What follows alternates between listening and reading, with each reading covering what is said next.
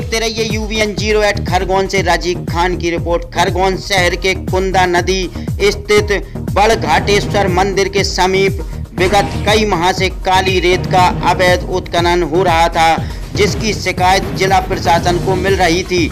जिला कलेक्टर शशि भूषण सिंह के निर्देश पर अनुविभागीय अधिकारी अभिषेक गहलोत और तहसीलदार आर के खतेरिया और नगर पालिका अमले ने हो रहे काली रेत के अवैध उत्खनन पर कार्रवाई को अंजाम दिया। इस दौरान रेत माफिया टीम को देखकर भाग निकले। बारह टीए नष्ट कर जब्ती की कार्रवाई कर पंचनामा बनाकर मामला कार्रवाई में लिया।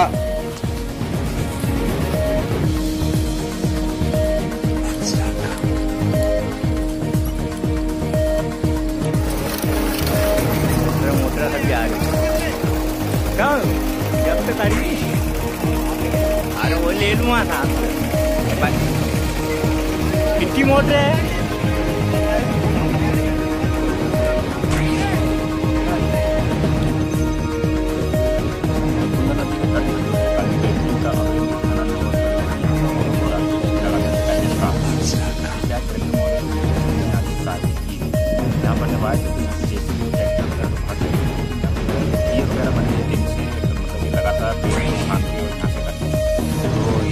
पर इनके सारे करीब बारह ठिए हैं जिन जिनको तोड़ा गया है।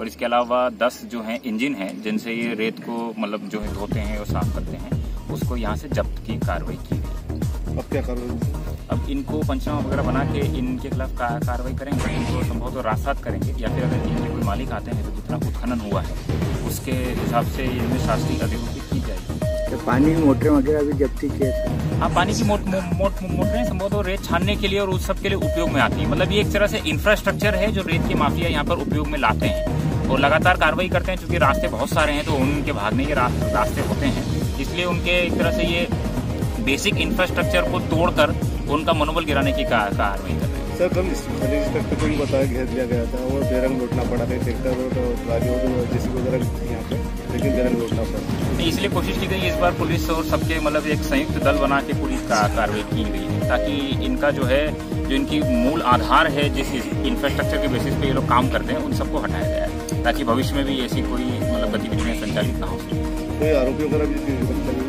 अभी तक तो ऐसे कोई आरोपी सामने आए आए नहीं है। लेकिन अब चूँकि ये सब सामान की सामग्री वगैरह जब्त की है तो उसको जो भी लेने आएगा उसी को आरोपी बनाएगा सर खनिज अधिकारी खनिज अधिकारी को घेरने के मामले में प्रकरण दर्ज हुआ है क्या? अभी उसके बारे में नहीं समझा सर ये कार्रवाई लगातार चलती रहेगी ये लगातार चलने वाली कार्रवाई ही और कोशिश हम वही कर रहे हैं कि ऐसी सख्त का कार्रवाई करें कि आगे उसकी आव- आवश्यकता ना पड़े